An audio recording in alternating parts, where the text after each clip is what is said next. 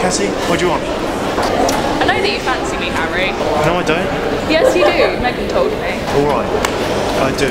So what? Well, I fancy you too. What? Really? Well, yeah, I do. I have for a while.